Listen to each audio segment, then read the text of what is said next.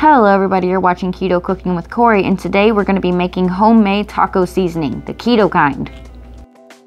We like to make it ourselves because it doesn't have the anti-caking agent, which is found in a lot of store-bought taco seasonings.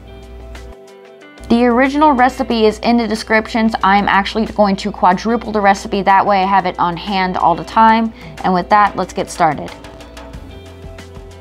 So first up, I'm going to use 8 tablespoons of chili powder.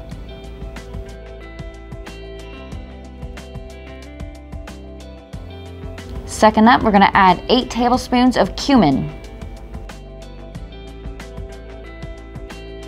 For number three, we're gonna add eight teaspoons of onion powder.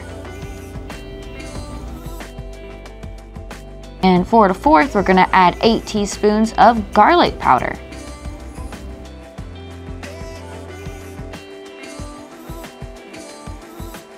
For number five, we're gonna add eight teaspoons of celery salt.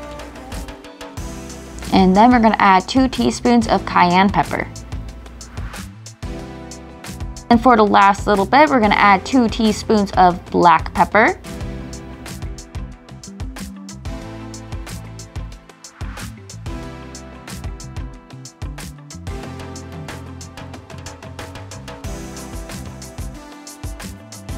And finally, two teaspoons of sea salt.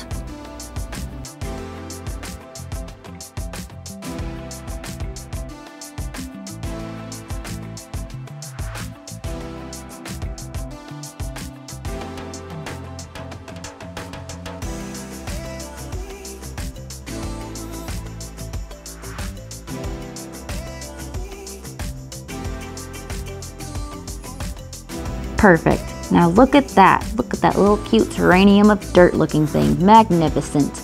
Now we're just going to eventually put on the lid and finally shake it all up and mix it together. We're just gonna shake and shake and shake and shake and shake and shake and shake and shake and shake and shake.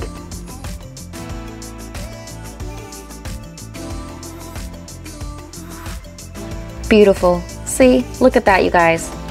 It is perfect. Not to mention, it smells amazing, just like a taco. Anyways, thank you guys so much for watching. Don't forget to like and subscribe. And if you do, leave a comment saying that you did down below and I will do my best to reach out to you. Also, if you guys have any suggestions of anything else I can make, let me know. I'm really curious to try new things. All right, see you later. Bye.